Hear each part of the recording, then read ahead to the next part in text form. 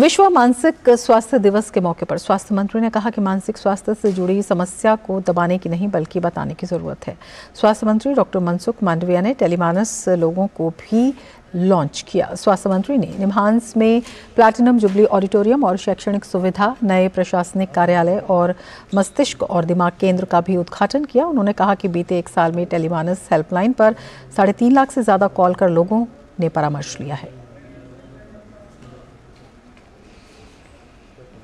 और किसी को नहीं बता रहे हैं तो आपके लिए टेली मानस है ना। आप बेझिझक टेली मानस पर कॉल कर परामर्श ले सकते हैं और आपकी पहचान भी गुप्त रखी जाएगी। विश्व मानसिक स्वास्थ्य दिवस के मौके पर केंद्रीय स्वास्थ्य मंत्री डॉक्टर मनसुख मांडविया ने टेली मानस का लोगो लॉन्च किया। पिछले साल मानसिक स्वास्थ्य दिवस के मौके पर टेली मानस सेवा शुरू की गई थी और अभी तक तीन लाख पचास हज़ार से अधिक लोगों को परामर्श दिया जा चुका है और वर्तमान में चवालीस टेली मानस सेल के ज़रिए हर दिन 2000 से अधिक कॉल हेल्पलाइन पर सुने जा रहे हैं।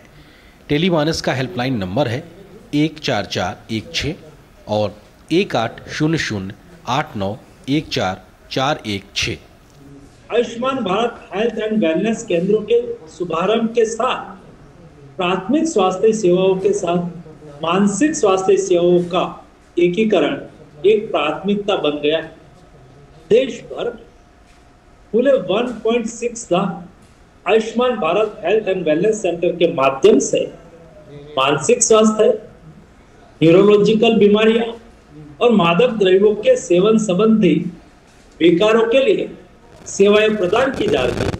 टेली मानस पर चौहत्तर दशमलव चार फ़ीसदी कॉलर्स, अठारह से 45 आयु वर्ग के हैं, जिनमें से पचपन दशमलव आठ फ़ीसदी पुरुष और चवालीस दशमलव दो फ़ीसदी महिलाएँ हैं। जानकारों का मानना है कि यह आंकड़ा दिखाता है कि युवा वर्ग में भी डिप्रेशन, एंग्जाइटी जैसी समस्याएँ बढ़ रही हैं और उनको समर्थन की ज़रूरत है।